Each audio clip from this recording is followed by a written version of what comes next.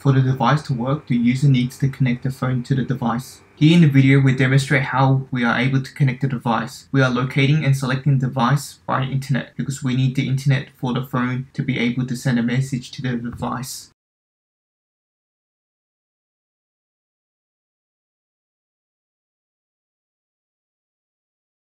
Once the device is connected to the internet, a message should be displayed on the device LCD screen along with an animation effect.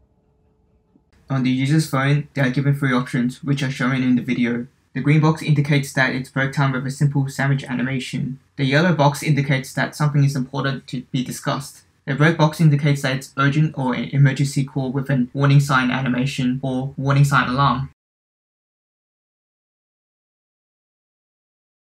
When the user receives the message on the device, the RGB LED light will flash based on the colors box you have selected to reflect how urgent the message is, and the animation will be displayed along with the message.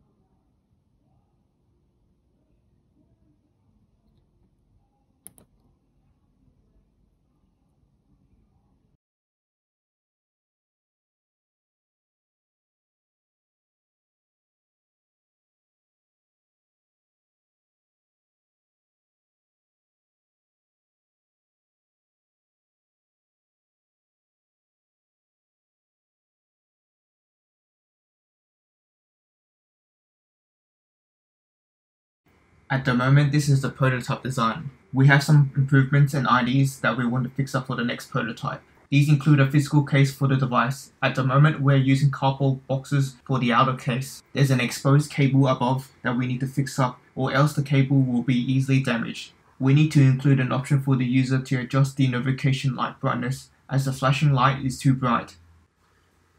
We are also trying to implement a sleep or mute mode just in case the user doesn't want to be disturbed. And finally, we want to try to keep the prototype design as simple as possible.